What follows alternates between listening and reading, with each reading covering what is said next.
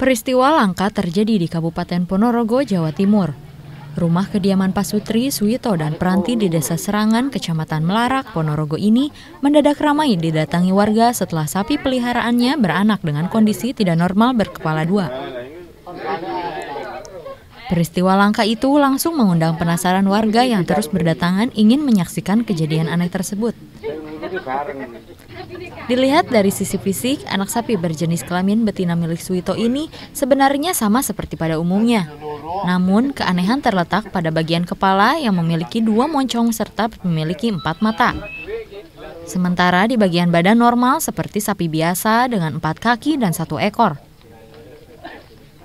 Karena lahir dalam kondisi tidak normal, sapi ini tidak bisa berdiri layaknya anak sapi yang baru lahir.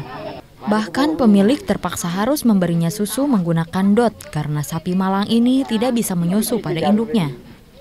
Menanggapi kasus langka ini, seorang dokter hewan dari Dinas Peternakan Kabupaten Ponorogo berpendapat lahirnya anak sapi berkepala dua ini kemungkinan karena terjadi pembelahan sel induk yang tidak sempurna sewaktu sang induk sedang bunting.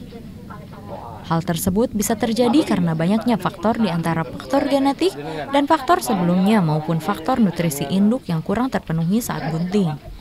Dari Ponorogo, Jawa Timur, Fajar Wiharjo melaporkan.